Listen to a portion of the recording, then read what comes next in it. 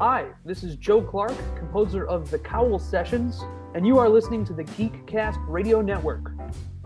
Hello and welcome to a Geekcast Radio Network crossover interview between the Pullbag and the flagship show Geekcast Radio. I am your host, Mike TFG1 Blanchard.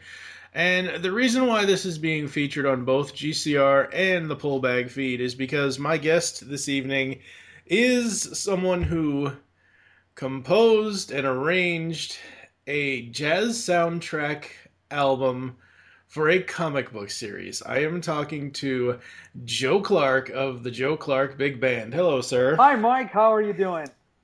I am doing well. How are you, sir? Oh, I'm doing real well. Thank you.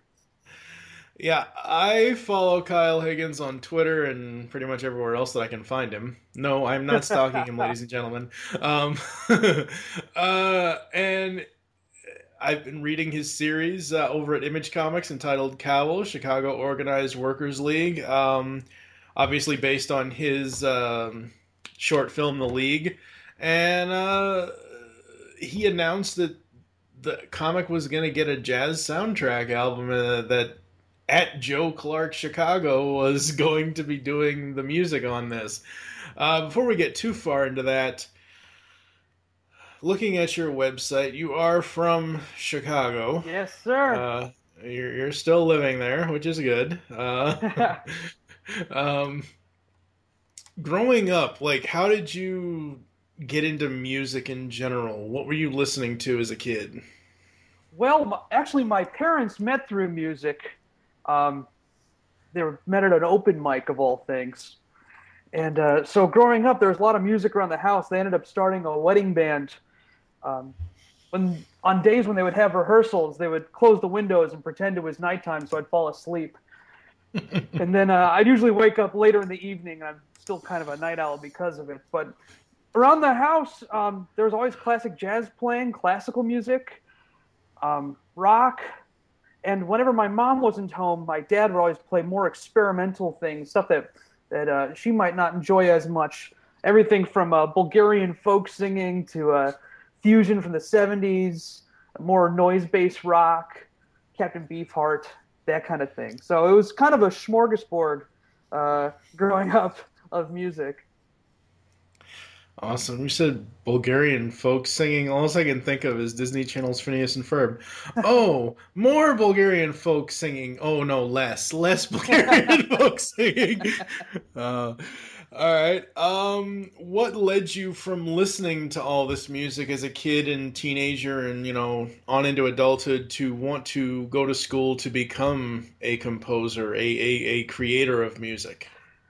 You know, the the, the path to writing songs uh, actually came. My dad found a, a, freeware program where you could write uh, little tunes in there, and so I just played with it and kept playing with it and kept playing with it, and eventually I had a bunch of stuff that I had written, and uh, thankfully uh, one of my teachers in elementary school caught on that I was doing this, and she would take the pieces I wrote and project them onto a screen during the choir concerts, to sort of uh, something to cover the transition between groups but I never really thought it was something you could get into.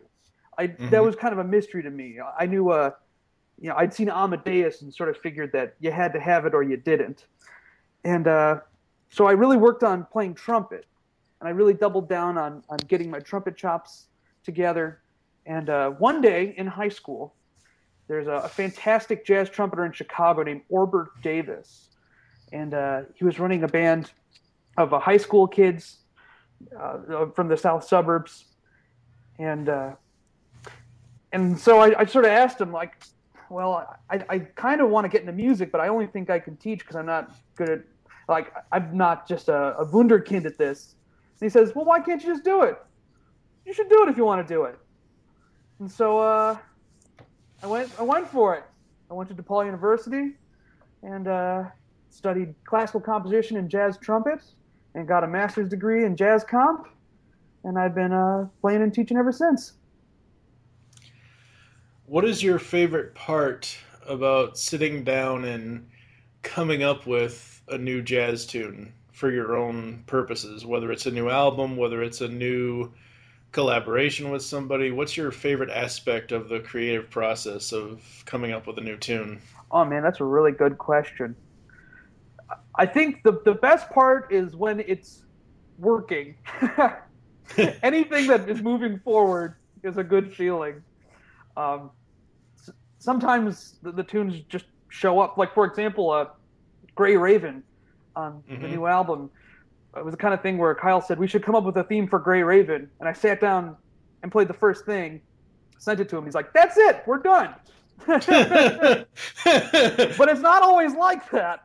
And uh, there's been a couple times that you know I uh, I wrote a, a, tune for an album that's coming out by uh, Mark Hebert, the bari saxophone player on the album, and uh, it's only like a two minute long melody, but it took me about two months to finish it because it just wasn't quite right. So uh, I guess to, to answer the question, the, the best part is when things start flowing, when you hit that state of flow, and you know it, it's very natural. Absolutely. Um, looking at your website here, which will be linked in the interview post on geekcastradio.com, uh, your music has been performed by a bunch of people, uh, including Yo Yo Ma. What was that experience like? That was really wild. Um, actually, Yo Yo Ma's played a, played a couple things that I've written uh, through the Chicago Symphony Orchestra's uh, Institute uh, that is sort of an outreach program for children. So uh, we did a flash mob once at the Thompson Federal Center. I worked with a, uh, another composer arranger named Cliff Colnott, and we did an arrangement of America the Beautiful. But uh, then Yo-Yo Ma's played a couple other things there. Um, it's been great. Um, it, it, it, he's always such a busy guy. There's not a lot of FaceTime. But uh, right. uh, one of the, the best experiences was I, we were we do this children's program called Once Upon a Symphony. In fact, we're about to start another round, not with Yo Yo Ma, but another mm. another show, just this week, and uh, the theme was the Ugly Duckling, and I knew that Yo Yo Ma would be playing, and one of the pieces they wanted to do was The Swan by Camille Saint-Saëns from the Carnival of the Animals, which is this gorgeous cello solo, just absolutely beautiful and I'm freaking out that Yo-Yo Ma is going to be playing this cello solo, and, and so I, I write it and rewrite it and polish it and re-edit it, and, and I finally get it, and you know, pouring my guts into this thing, and I finally get up to the show, and there's two cellists. Oh no! But it's okay because one of them's Ken Olsen of the Chicago Symphony, who's amazing. They're two amazing cellists. But as I'm looking at this, I'm thinking, yeah, they're not both good at play it. And so uh, when it comes time for the show, Ken is the one who takes the solo part, which is cool. And Yo Yo just improvises bird sounds over the whole thing. It's supposed to sound like a swan. Yeah. I couldn't even believe it. It just sounded like birds. It was it was really cool. So sometimes, uh, and this is one thing I like about jazz and, and improvised music in general is sometimes what the musicians bring to the table is better than what you have on the page. So it's true. Uh, the other major person I noticed in your biography on your on your website here is um, your horn arrangements can be heard on Kanye West and Malik Yusef's "Good Morning, Good Night." Talk about that experience! Like, I think this is the first person I've ever talked, actually had an interview with that actually was that you know that close of a connection to Kanye West. Talk about that. Well, here's the thing too. I'm I'm sorry to, to burst the bubble a bit. i I know I've never I've never met Kanye. I've oh, seriously. He never came to the, the sessions or anything. Um, I think it was, you know, Malik wrote a lot of the songs on 808s, you know, uh-huh. and uh, and so I think there there may have been some exchange there. Um, that group that was only the group that did the the horn parts and the production on that. We had our own little thing for a while. It was called the Eleventh Hour, and we called ourselves the Eleventh Hour because we got a chance to record. Oh, I'm sorry. Um, did you hear those dings, by the way? That... No. All right, excellent. Um, so we called ourselves the Eleventh Hour because a producer uh, for one of the tracks got arrested and we had 11 hours to replicate that track at a professional level. Oh my god! Los Angeles, and so there was a couple of us, and we tried our hands at it, and uh, I'm happy with how it turned out, but it's definitely not what I wanted to be doing in the long term. So it's been kind of funny though because I I, uh, I teach at DePaul University and Northwestern University, mm. and uh, every once in a while a student will bring up rap, and uh, I I can I, I can't completely hang, but uh, I know a bit about rap. I was in the game, had a little bit of skin in the game, and uh, and so that sometimes surprises the students. Yeah. Yeah. So I'm sorry I can't share more colorful stories. so you weren't at the wedding. no, sorry, Mike. Oh. oh boy. Uh, all right, so let's get down to what we're actually here to talk about the Cowl sessions. How did this come about? You know what's funny? This is the I've been asked this question more and more frequently, and it's a mm-hmm. convoluted origin story to this. It, it's not nice and neat. It's not super heroic. Um, I guess the, the first track that I wrote for this album was written even before there was a finalized script for the league. Because um, okay. Kyle had a story treatment, and we were talking. Well, let me backtrack just for a second. Absolutely. Were you the music guy on the league? Yes, sir. Absolutely. Why the hell isn't that on on iTunes? The the music by itself. That's a good question. I love the music from that short. Oh, Come thanks, on, man. We nearly, oh. we nearly recorded that the one uh, well, the original uh, cowl. Well, it was just the league theme. We, had, we yeah. it got adjusted, so we adjusted, etc. but um, well, thank you. Uh, number one, and uh, so the thing that was interesting is because I was Kyle's senior project, and uh, mm-hmm. you know he's so ambitious in terms of the scale. I wanted to start writing, you know, just getting mood music the moment he said that the project was a go. And so right. I was still in school and uh, was writing stuff so that people could record over, I think it was Thanksgiving break. So we were recording, and some musician. I actually had to write the score. Sometimes I knew the drum player, uh, the percussionist, pardon me, um, had to leave very soon, and I didn't have the whole score finished. So I wrote all the drum parts before I finished everything else. So uh, some of those drum parts were written before I had any idea of the final layout of the scene, and we sort of worked around it. And uh, so, anyway, with that in mind, uh, some of these tunes are, you know, almost a decade old, but they've been growing and gestating. And I've had uh, right. performances by different groups of the pieces because I've, oh, I've tried. Uh, well, they've had a life outside of the film, which has been a, a pleasant surprise.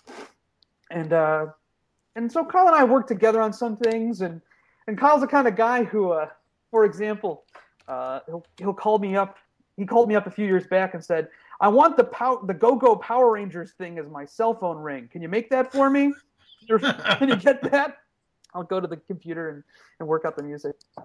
But anyway, when Cowl first came out, he said, uh, "You know, I'm, I'm going to make a trailer and I think it'd be cool if we had a new like track released every issue for the first five. And it just un- it was just an unfeasible uh, timeline thing to work out at that time.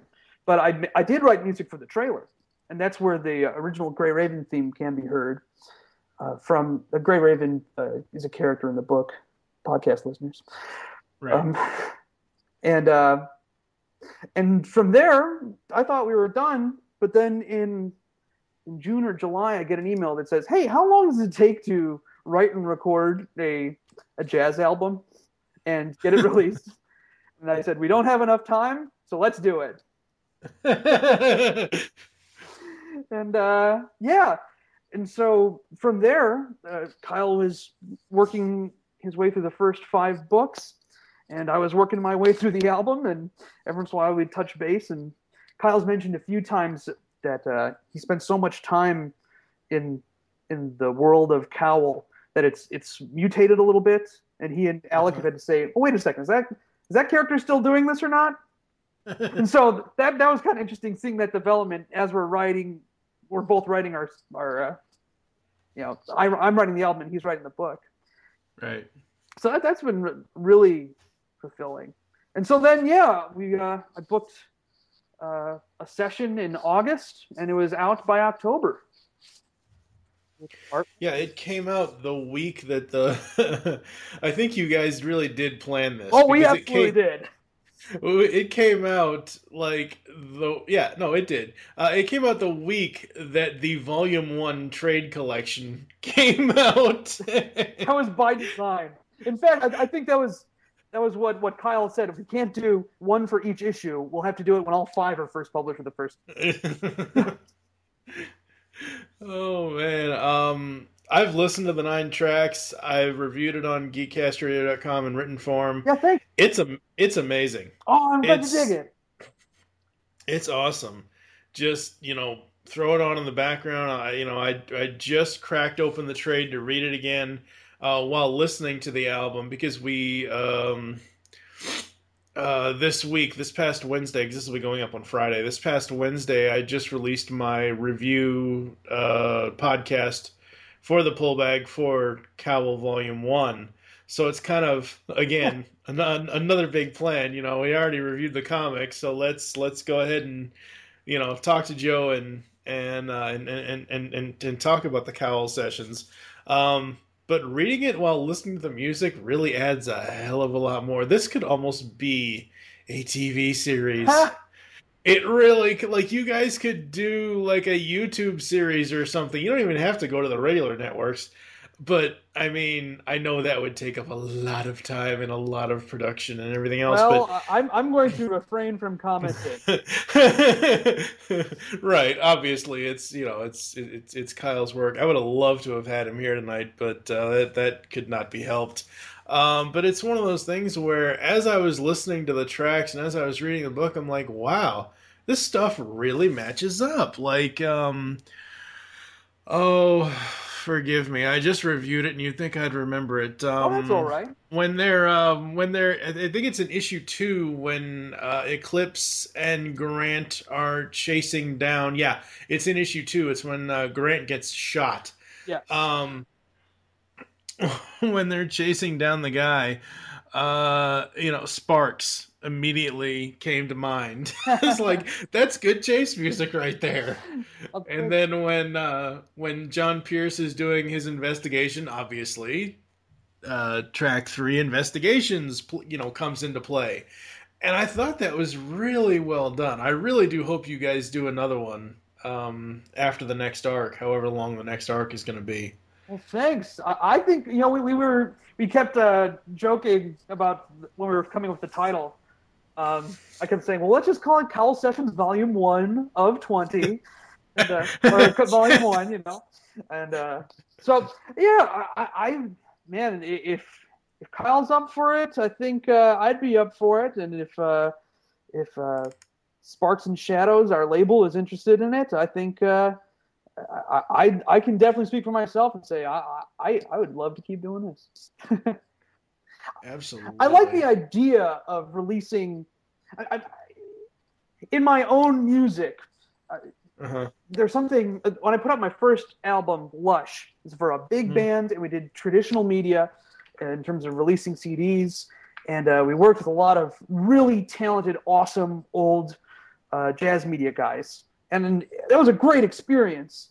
Um, but at the same time, I, I would be talking to Kyle, and he's putting out a new book every month and yeah. it's just a different kind of culture. You talk. Oh, absolutely, yeah. when you you put out the first album, for example, um, I know you and I were talking previously, and I had to stop and think about when what year it actually came out because we spent so much time with the the pre-release right. and all the planning, and you have to mail out the physical copies. So it's a different kind of pace of things. So man, there was something something really fun about working on the comic book turnaround schedule there's there's an energy to it and an urgency, which is uh, it reminds me of working in live theater sometimes, where you just have to make a decision. Yeah, there we go.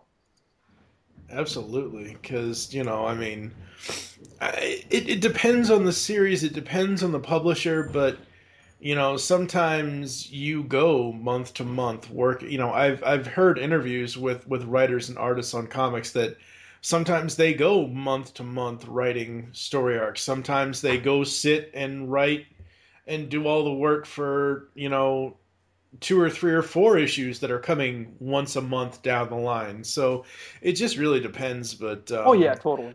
I mean, honestly, like after uh, I would kill, not literally, but I would kill for a soundtrack after each arc of like seriously, Cowl is probably one of my favorite non superhero, non friend because technically it's okay. It semi non superhero. When, when I say non superhero, I mean it's not DC's, it's not Marvel's, it, it it's not you know what I mean. It's sure it's not the. When I think of a superhero comic, I think of Batman, Superman, you know, Wonder Woman, Green Lantern, there are superheroes in it, but it's not that kind of narrative for sure. Right, ex- right, exactly. I mean, this to me is a period piece comic that is about a superhero labor union in 60s Chicago, and that's unlike anything any publisher is doing right now. Absolutely. Um, and so when I say, you know, it's not a superhero comic, I mean, it's not with DC or Marvel. It's not a franchise comic like, uh, you know, uh, He-Man Masters Universe licenses out to DC, or oh, you know, yeah. uh, Transformers licenses out to IDW. It it's a creator-owned comic, and uh, man, like I, I I know this would kill Kyle, but I wish I wish Cowl was a weekly series. I really do. Oh. yeah. I know that would kill him, but it, it is just that damn good. Um, uh, and it's and the you know having music to go along with it. Um, what's going to be interesting for me is mm-hmm. as issues six, seven, eight, nine, ten, whatever come out to see if the soundtrack can fit some of this some of the upcoming scenes that Kyle is going to write and, and Rod Reis is going to, you know, Kyle, Alec, and Rod are going to work on and write and illustrate and all that stuff to see if it also fits with what's coming after. And Alec Siegel, don't forget Alec. Alec. Yeah, I did. Oh, yeah, I, said, oh, I, am sorry. Yeah, I said ah. I said Kyle, Alec, and Rob. Um, Forgive me. You, you yes. can edit that out. um, but because uh, it it really is going to be interesting because I know you as you already said, he specifically asked you to write this based around the first arc, which is Principles of Power. And it's going to be interesting if heaven forbid you don't get to do another one, if this music can fit in any other arc after this one. Yeah, that's almost a. Uh, don't want to say a Rorschach test, but see how see how our minds process the two. That's actually been part of the, mm-hmm. the joy of it. Is it's not it's not a temporal one to one kind of thing where you're there's a matching up to per scene. I know I had a couple right. people asking me like, is there going to be a sign when I should start playing it? But um, one of, one of the inspirations to me was uh, this 1957 uh, Mancini album, the the music of Peter Gunn. Uh-huh. And most people know the theme, the dong dong dong dong dong dong dong dong dong dong that part. But mm-hmm. the whole album after that, after the, the main theme, is a bunch of stuff that just sort of sets the mood. Uh, stuff that um, wasn't always performed in its entirety on the series, and in some cases, and this is what really intrigued me, was never played on the series at all and wasn't even written for that.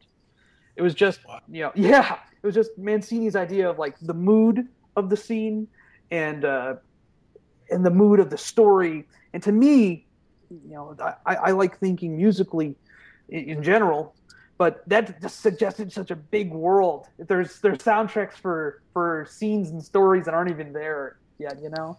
And so, I don't know. It's going to be interesting. The other thing that's going to be interesting is book six is being done in the style of an old Silver Age book, and yep. uh, is going to be a standalone. So, um, yep. makes me want to pull out some of the soundtrack from the original League, some of the trombone stuff we did with a real nasally newsreel quality. Oh my god! you have you, you have to find a way to get that on. I there's got to be a way you guys can submit that to iTunes. Just put it. To, it it already exists, correct? Uh, yeah. I think uh, I'd have to go digging through the archives, or maybe maybe Kyle is such an organized guy. He probably is is two t- two clicks away from finding it. But um, I, yeah. I mean, seriously, like I would buy that in a heartbeat. I, I was actually sitting here at my computer waiting. uh, you know, on the uh, on the 27th going into the I was sitting here at 11:45 just waiting for midnight to click over here here in the Eastern time zone just waiting so I could just hit that buy button. Oh, um, oh, thanks, man. It you just know how to make a guy feel it, good. That sounds so wrong. I know what you mean. But yeah. Uh, but no, I mean, it's, you know, people need to take more notice of this series and of, of, of this album. I mean, I know I've seen. I think I've seen several other people review it uh, online. I don't remember where exactly, but you know, just do a search for the Cowles, the the Cowl sessions, and I'm sure, um, you know, reviews will pop up. There's more that are uh, coming too. That, that's one of the nice things about doing a, a digital only release. Mm-hmm. we, we, can roll it out a little bit. It feels real nice. Absolutely. Um, will the I know the, the, the artwork for this one is um, is very Blaze uh, heavy since he is on the cover. that is true. Um, and I do think that opening track, uh, the opening track, which is entitled Blaze, um, I do think that fits the very first battle scene in issue one of the series. So, I mean, it does it does work where you can put this on and listen to it track one to track nine, and at least through the first two or three issues, you'll be set for music. Um, then you put it on loop and you'll be set for the last two. Yeah, it, that's true. It's like Dark that's Side true. of the Rainbow. You ever done that one? yeah. Just. Leave, leave it on loop. so, what came first, the instrumental version of Chicago or the sung version with Rhea Yarbrough? You know, when uh, when we first talked about doing an arrangement of Chicago, which honestly I, have wanted to work with it, I, I, just found out it was in the public domain. So, so that was really nice to find that out. Um, Kyle and I both were like, "Oh, this would make a really cool vocal thing," and we'd love to have Rhea on it, but uh, we weren't sure if it was going to work out schedule wise. You know, she, she's uh, she's in high demand, and so the challenge was to write an arrangement that worked both as an instrumental and as a vocal, and we mm-hmm. didn't know until about a week before the recording session. so uh, even passing out the music to musicians, I had these parts, uh, all these notes written in there that you know, if, if, there's a vocalist, you'll have to lay out here because she'll be singing a part. And uh, right. it was it was only the, a couple days before the session I was able to contact everybody. I'm like, we have a vocalist. But by that point, I, um, you know, I've gotten so familiar to listening to the instrumental and had that in my head uh, that we decided to leave them both in. Mm-hmm. So uh, yeah, I, am happy with how it turned out, though. I, I, hate to say it, but I think her her vocal version is the superior version. Oh no! Don't are you kidding me? You know, it, was she's awesome. Number one, and uh, yeah. uh, number two, we're lucky to have her. You know. Yeah. And uh, I mean, when I get down to Chicago, the instrumental version, I'm like, wait, it, it, there's something missing here.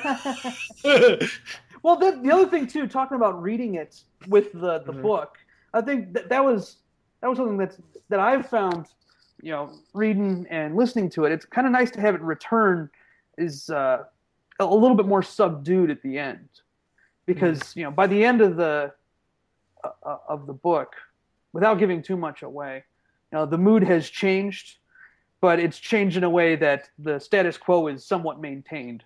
So musically, we're trying to you know evoke that as a as a kind of musical metaphor. So hopefully that works out in that sense. Absolutely. Uh, what other things are you working on now that Cowl Sessions Volume One is out? Oh man, it's been a, a real uh, busy but fun uh, couple couple weeks since since that album came out because it's only been a couple weeks. Wow. Yeah. Um, yeah. I just finished a project with uh, two fantastic trumpeters, uh, Marquis Hill, who just a few days ago uh, won the Thelonious Monk Jazz Trumpet Competition in Los Angeles. Um, just a crazily nice guy who's a monstrous player. Real warm, soft, energetic, intelligent sound. Um, and he was doing a project with uh, one of his mentors, a trumpeter named Jon Faddis, who used to perform with Dizzy Gillespie. You know, mm-hmm. this this beast. So we, we just did a big show together, and uh, I'm finishing up a a, a, a, series of arrangements for the Chicago Symphony Orchestra's uh, children's series. We're getting that uh, started this week, but I'll be finished uh, hopefully soon. And the the Chicago Sinfonietta, another orchestra in the area. And uh, yeah, I've got some of my own projects I'm working on, something um, also Chicago themed. So uh, I think there's a little bit more to pull from there, but uh, that should be coming together soon. Yeah. Very awesome. Very awesome. All right. I think that's going to do it, really. Um, Absolutely.